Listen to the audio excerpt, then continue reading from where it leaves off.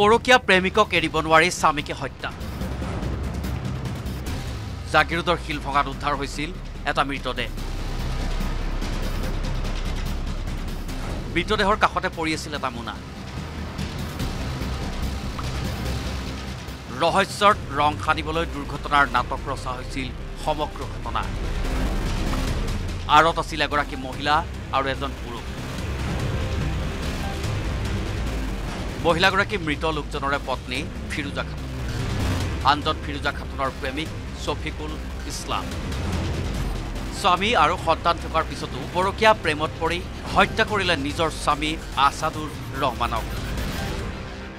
নিচাযুক্ত দ্ৰব্য খুৱাই হত্যা কৰা হৈছিল আছাদুৰক। তাৰ পিছতেই শিলভঙাত ৰাস্তাৰ কাষত পেলাই থৈ দুৰ্ঘটনাৰ ৰূপ দিবলৈ চেষ্টা কৰিছিল ফিৰোজা খাতুন আৰু পৰকীয়া প্ৰেমিক ছফিকুল ইছলামে। কিন্তু সাৰি নগ'ল আৰক্ষীৰ হাতৰ পৰা। ভাবিছোঁ যে এক্সিডেণ্ট হৈ পেলাই ৰাস্তাৰ মেইন হাইৱেৰ ওচৰতে এইচ পি চি যিটো আছে চিলভাঙাৰ ওচৰত তাতে ৰাস্তাৰ হাইৱেৰ কাষতে পৰি আছিলে। চ' প্ৰথম অৱস্থাত এক্সিডেণ্ট বুলি ভাবিলে যে গাড়ীয়ে খুন্দিয়াইছে বুলি ভাবিলে। কিন্তু তথাপিও অ চি আৰু এটা টীম তালৈ গ'ল।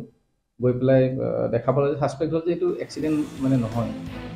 ফিৰোজা খাতুন পলাই গৈছিল পৰকীয়া প্ৰেমিক ছফিকুলৰ সৈতে। পাঁচ মাহ পূৰ্বে পলাই যোৱা ফিৰোজাক লৈ আহিছিল স্বামী আছাদুৰ ৰহমানে। পাঁচ মাহ হৈছিলে পলাই গৈছিলে। আকৌ গিৰিয়েকে লৈ আহিছিল বাচ্ছা আছে যে মাইকীটো গ'লেগৈ মোৰ বাচ্ছাকেইটাৰ কি হ'ব বুলি।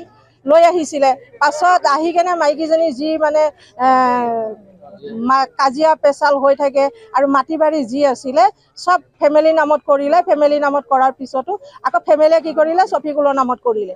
যে এনেকুৱা মাইকী মানুহ জীয়াই থকা সলনি তেখেতে উচিত উচিত শাস্তি পাব লাগে। এখন গাড়ীৰে প্ৰেমিক ছফিকুলৰ সৈতে ফিৰোজা খাতুনে লৈ গৈছিল স্বামী আছাদুৰ ৰহমানক। সন্ধিয়াৰ ভাগত উলিয়াই নিয়া হৈছিল স্বামী আছাদুৰ ৰহমানক আৰু তাৰ পিছতেই নিচাযুক্ত দ্ৰব্য খুৱাই হত্যা কৰা হৈছিল আছাদুৰক। কিন্তু কেনেকৈ পোহৰলৈ আহিল এই কথা? এই কথা স্বীকাৰ কৰিছে গাড়ী চালক ৰন্তু বৰদলৈ কাৰণ ৰন্তু বৰদলৈয়ে চলাই গৈছিল সেই গাড়ীখন। নিশাৰ ভাগতেই আৰক্ষীয়ে গ্ৰেপ্তাৰ কৰিছে তিনিওজন অভিযুক্তকে। জাগিৰোডৰ পৰা অজয় পালৰ report news eighteen Assam north east.